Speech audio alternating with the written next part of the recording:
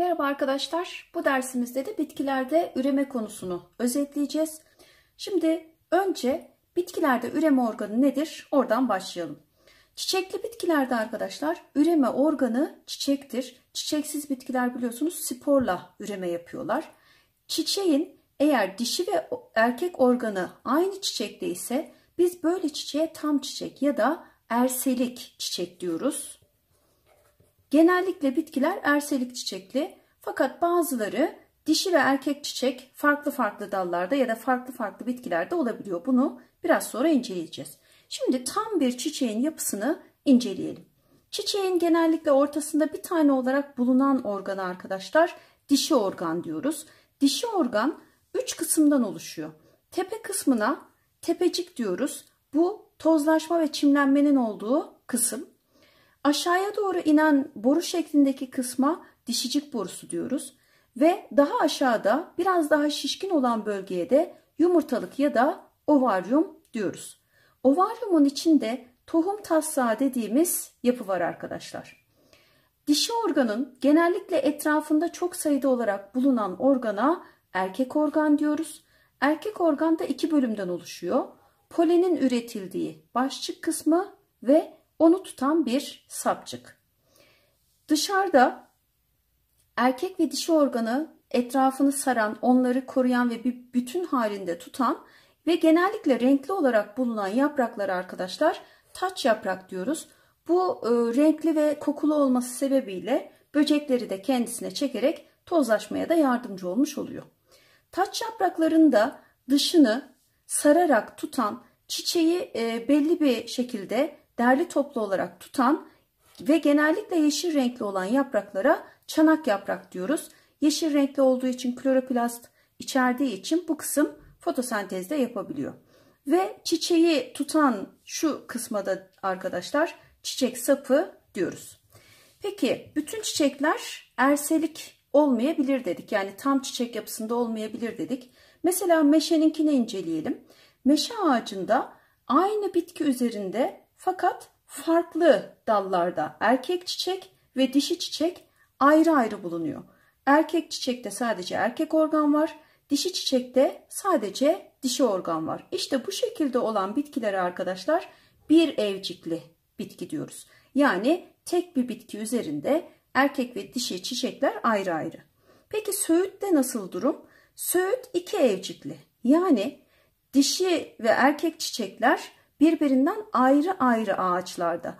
Bakın erkek çiçekler farklı bir bitkide, ağaçta, dişi çiçekler farklı bir söğüt ağacında. İşte bu şekilde olan bitkilere de iki evcikli bitki diyoruz. Şimdi polen e, ve yumurta oluşumu nasıl gerçekleşiyor bitkide? Bunları bir hatırlayalım hemen hızlıca özet halinde. Erkek organın başçık kısmında polen üretildiğini söyledim biraz önce. Başçık kısmında arkadaşlar 4 tane polen kesesi var. Şunların her biri polen kesesi ve bu polen kesesinin içinde birçok polen ana hücreleri var. Polen ana hücreleri 2N kromozomlu yani diploid. Ee, ana hücreler mayoz bölünme ile 4 tane mikrospor hücresi oluşturabiliyorlar. Bunların her biri arkadaşlar N kromozomlu mayoz bölünme ile oluştuğu için her bir mikrospor e, iç mitoz geçiriyor. Yani çekirdek bölünmesi geçiriyor ve bu mitoz bölünmeden sonra iki çekirdekli polen meydana gelmiş oluyor. Bu çekirdeklerden bir tanesi jeneratif çekirdek, diğeri tüp çekirdeği. Tüp çekirdeği polen tüpünü oluşturacak e, tozlaşmadan sonra jeneratif çekirdek ise iki tane sperm çekirdeğini oluşturacak yine tozlaşmadan sonra. Bakın şu haliyle burada sperm yok. Henüz oluşmadı. Bitkilerde hayvanlardaki mayoz bölünmeye göre bir fark var arkadaşlar. Hayvanlarda mayoz bölünmeden sonra oluşan en kromozomlu hücre sperm ya da yumurta olabiliyor. Yani gerçek gamet. Ama bitkilerde direkt mayoz bölünmeden sonra gerçek gamet oluşmuyor. Daha sonra e, çeşitli mitoz bölünmeler geçirmek ve farklılaşmalar geçirmek durumunda. Polen oluşumunu böylece gördük. Şimdi yumurta oluşumu ve embriyo kesesinin oluşumu nasıl gerçekleşiyor buna bakalım. Biraz önce söyledim size ovaryumun içinde tohum taslağı dediğimiz yapı var. Tohum taslağının içinde iki en kromozomlu megaspor ana hücresi dediğimiz hücre var. Diploid kromozomlu. İşte bu megaspor ana hücresi mayoz bölünme geçirdiğinde 4 tane en kromozomlu hücre meydana geliyor. Bu 4 tane en kromozomlu hücreden bir tanesi daha büyük olarak oluşuyor. İşte buna biz megaspor diyoruz. En kromozomlu. Megaspor henüz yumurta adını almıyor. Gerçek gamet değil. Hemen arka arkaya 3 tane mitoz geçiriyor arkadaşlar. Ve 3 mitoz sonucunda 8 çekirdekli bir yapı oluşuyor. Mitozla olduğu için bunların her biri yine en kromozomlu 8 tane çekirdek. Bu çekirdeklerin 3 tanesi üst kutba yerleşiyor ki onların adı antipod çekirdekler. 3 tanesi alt kutba yerleşiyor. Alt kutuptakilerin şu kenardakileri sinerjit çekirdekler. Ortada biraz daha büyük olarak bulunan çekirdek ise işte bizim asıl döllenmeye katılıp embriyoyu oluşturacak olan yumurta hücresi. Ortada iki tane çekirdek var. Yine ikisi de en kromozomlu. Bunlara da polar çekirdekler diyoruz. Polar çekirdekler de yine döllenmeye katılacak ve o da e, endosperm dediğimiz besi dokuyu oluşturacak. Demek ki bitkide çift döllenme var arkadaşlar. Bir tanesi polar çekirdeklerle sperm, bir tanesi yumurtayla sperm. Biraz sonra nasıl olduğunu göreceğiz. İşte bu yapının adı yani 8 çekirdekli yapının adı embriyo kesesi. Embriyo kesesinin bakın etrafı kapalı tek açıklık olarak bulunan yer mikropil. Ee, biraz sonra tüp çekirdeği polen tüpünü oluşturacak onu anlatacağım. Ve nereden giriş yapacak embriyo kesesine? İşte bu mikropil dediğimiz açıklıktan giriş yapacak. Şimdi tozlaşma olayını bir hatırlayalım. Bitkilerde arkadaşlar polenin erkek organın başçığından dişi organın tepeciğine gelmesi olayına tozlaşma diyoruz. Tozlaşma böceklerle, rüzgarla, suyla, e, çeşitli başka etkenlerle gerçekleşebiliyor. Çapraz ve kendi kendine olmak üzere iki tür tozlaşma var. İkisinde de çeşitlilik oluşur çünkü döllenme olayı olacak sonrasında. Fakat çapraz tozlaşmada yani başka bir çiçek başka bir çiçeğe polenlerini gönderdiğinde daha fazla çeşitlilik olacaktır. Kendi kendine tozlaşmada aynı çiçekteki erkek organdan dişi organa e, polen aktarımı var. Kendi kendine tozlaşmada çeşitlilik daha azdır. Bu yüzden bitki genellikle neyi tercih eder arkadaşlar? Çapraz tozlaşma yaparak çeşitliliğini artırmayı tercih eder. Tabi türden türe bu durum değişir. Şimdi çiçekli bitkilerde çift döllenme var. Biraz önce söyledim. Bu çift döllenme nasıl gerçekleşiyor bakalım. Hayvanlardaki e, yapıdan işte ikinci fark bu. Birinci fark mayozdan sonra hemen gerçek gamet oluşmuyordu. İkinci fark hayvanlarda tek döllenme vardı. Burada çift döllenme var. Tozlaşmayla arkadaşlar polen tanesi dişicik tepesine geldi ve aynı tür olan e, bitkilerin polen ve dişicik tepesi uyum sağlar. Bu uyum olmazsa çimlenme gerçekleşmez. Uyum olduğunda polenin dışındaki bu girinti ve çıkıntılar buraya yerleştiğinde polenin içinde iki tane çekirdek var demiştim. Biri tüp çekirdeği, biri jeneratif çekirdek demiştim. İşte o tüp çekirdeği arkadaşlar şu şekilde dişicik borusunda ilerleyen bir polen tüpü oluşturuyor. Bu polen tüpü arkadaşlar ilerleyecek ve mikropil dediğimiz açıklıktan e, embriyo kesesinin olduğu yere ulaşacak. Polen tüpü oluştuktan sonra jeneratif çekirdek yani doğurucu çekirdek hemen bu tüpün içinde e, mitoz bölünme geçirecek ve iki tane sperm çekirdeği oluşturacak. İşte bakın bunlar sperm hücreleri. Şuna dikkat edin. Sperm hücreleri tozlaşmadan sonra oluştu. Polenin içinde henüz sperm yoktu. Dişicik tepesine geldi. Polen tüpü oluştu ve polen tüpünün içinde mitoz geçirdi. Jeneratif çekirdek. İki tane en kromozomlu sperm çekirdeği meydana geldi. İşte bu sperm çekirdekleri mikropilden içeriye girdiler. Burada hangi çekirdekler vardı? Antipod çekirdekler üstteydi. Şu iki tanesine sinerjit çekirdekler demiştim. Antipod ve sinerjit çekirdekler kayboluyor arkadaşlar. Asıl işlevi olanlar hangisi? şuradaki yumurta hücresi ve ortadaki iki tane polar çekirdekler. Yumurta hücresi bir tane sperm e, hücresiyle dölleniyor ve sonuçta iki en kromozomlu zigot meydana geliyor. Zigot nasıl oluşuyormuş? Yumurta ve spermin birleşiminden oluşuyor. Polar çekirdeklerle ikinci spermin döllenmesiyle de endosperm dediğimiz 3 en kromozomlu e, yapı oluşuyor. Bu besi doku anlamına gelir arkadaşlar. Tohum çimlenene kadar onu besler, embriyoyu besler. Nasıl meydana geliyormuş?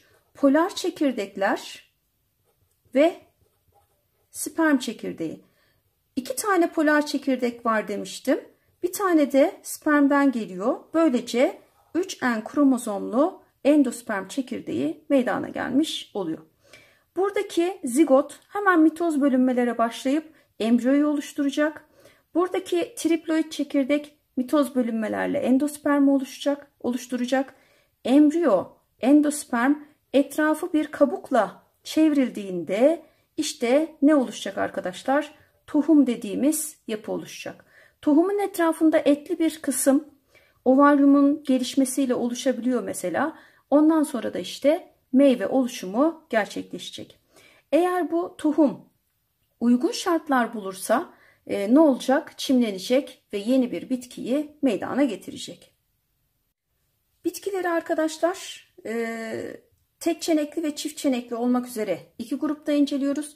Tek çenekli bitkiye mısır tohumunu örnek verebiliriz mesela. Çift çenekliye de fasulye tohumunu örnek verebiliriz. Mısır tohumunu bir inceleyelim. Bakın burada çenek var. Endosperm onu çimlenene kadar kimi embriyoyu çimlenene kadar besliyor. Embriyo hemen mitoz bölünmelerle embriyonik kök ve embriyonik gövdeyi meydana getiriyor. Çimlenme sonucunda da bunlar gerçek gövde ve gerçek kök haline gelecekler. Etrafını bakın tohum kabuğu sarıyor. Demek ki tohum dediğimiz şey neymiş? Embriyo, endosperm ve etrafındaki kabuk.